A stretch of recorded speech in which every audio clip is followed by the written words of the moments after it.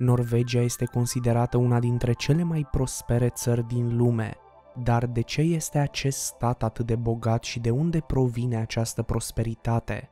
Ei bine, răspunsul la aceste întrebări îl vom găsi în clipul de astăzi în care practic vom afla istoria economică a Norvegiei și modul în care acest stat nordic a devenit atât de bogat. Cât de bogată este Norvegia? Mulți cred că Norvegia a fost o țară relativ săracă până la descoperirea petrolului și a gazelor în Marea Nordului. Totuși aceasta poate fi o concepție ușor greșită, deoarece în secolul al XIX-lea bogăția Norvegiei era de fapt la egalitate sau ușor peste medie în comparație cu restul Europei la acea vreme. Cu toate acestea, Norvegia a fost cu siguranță în urma vecinilor săi Suedia și Danemarca până de curând în ceea ce privește bogăția. Înainte de descoperirea petrolului în anii 1960, Norvegia avea un venit cu aproximativ 10-20% mai mic decât Danemarca și Suedia. Astăzi însă lucrurile stau puțin diferit, veniturile Norvegiei fiind acum cu 10-20% mai mari decât ale celor doi vecini.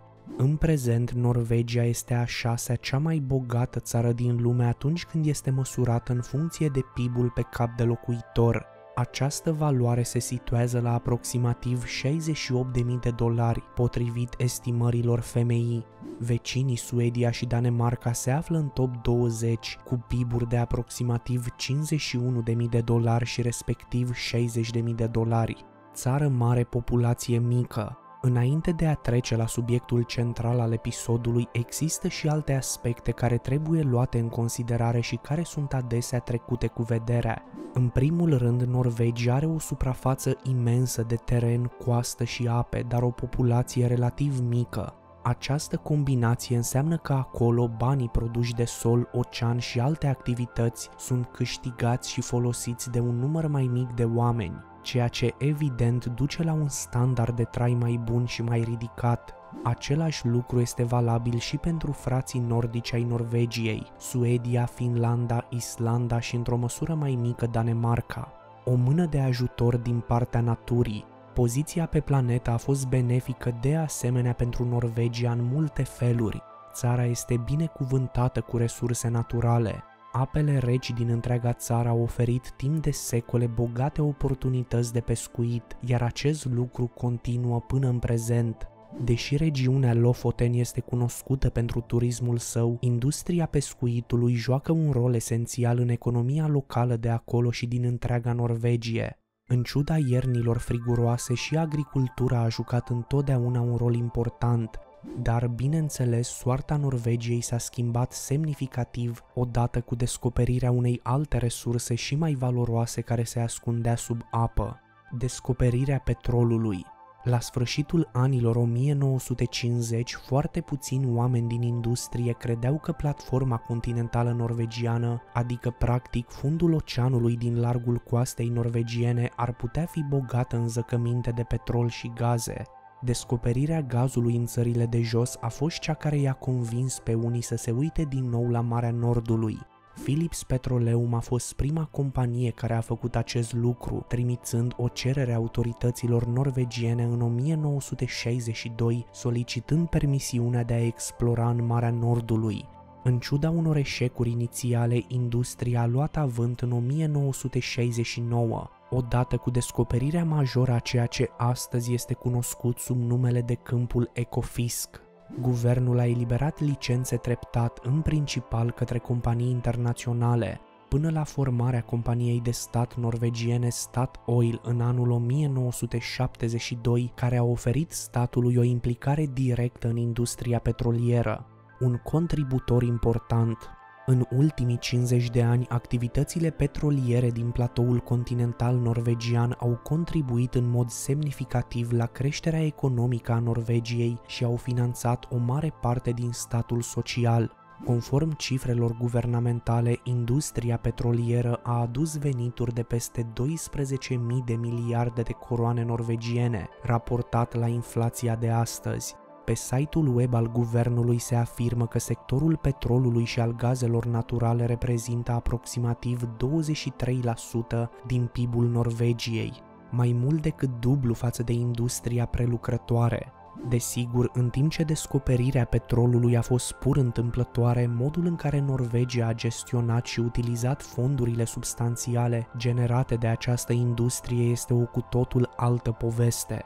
Astfel, aurul negru a fost crucial pentru economia norvegiană și pentru expansiunea acesteia. Mulți experți apreciază că petrolul a fost important din trei motive principale. În primul rând, a asigurat un venit important pentru economia norvegiană, atât publică cât și privată. În al doilea rând, a furnizat venituri din exporturi care pot plăti importurile, iar în al treilea rând a adus o întreagă industrie care este foarte productivă.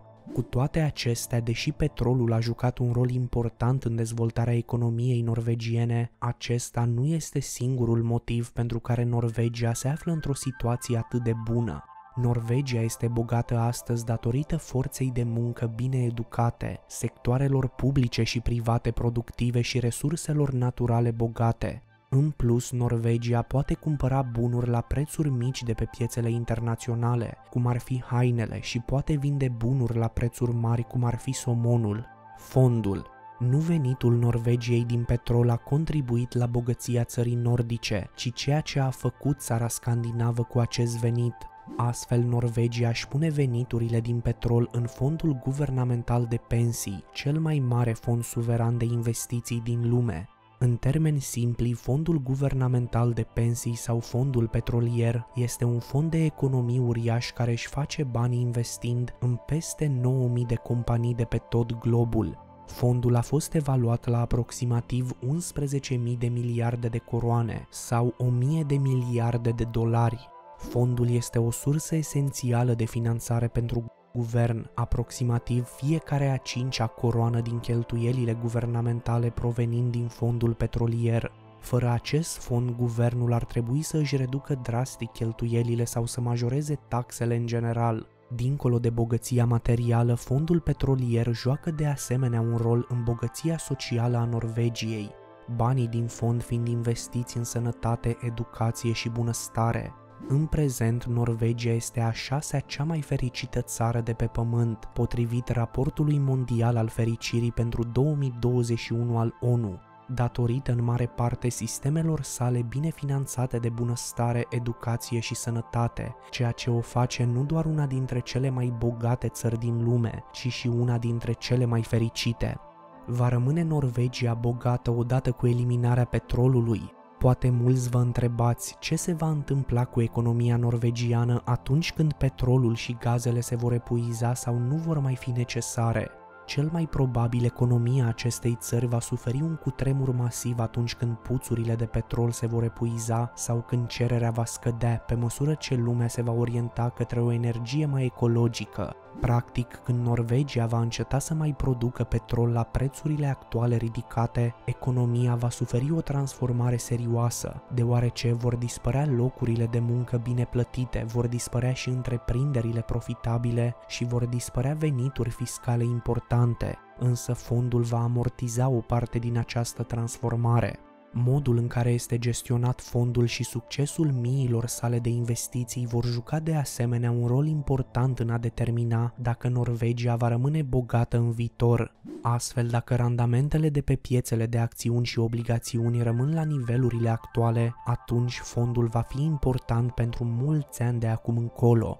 Miliardarii norvegieni, Așa cum vă puteți da seama, Norvegia, fiind o țară bogată, are și un număr foarte mare de miliardari, raportat la numărul de locuitori ai țării. În prezent, în statul nordic se află 12 miliardari, adică aproximativ 2,2 miliardari la fiecare un milion de locuitori. Poate că această cifră nu pare foarte mare, însă dacă o comparăm cu cea a altor state, ea este chiar considerabilă.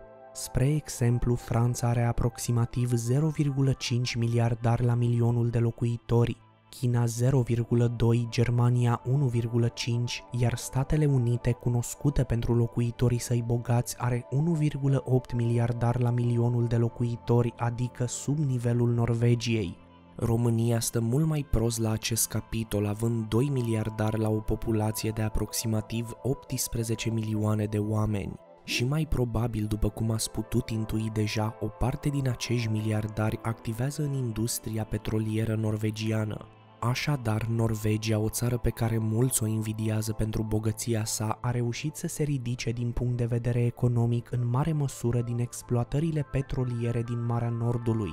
Deși, desigur, petrolul nu este singura sursă de venit a guvernului norvegian, el reprezintă o parte importantă a acestuia. Ce se va întâmpla cu economia norvegiană după ce petrolul va fi eliminat treptat? Ei bine, asta ține doar de modul în care guvernul statului nordic va gestiona situația.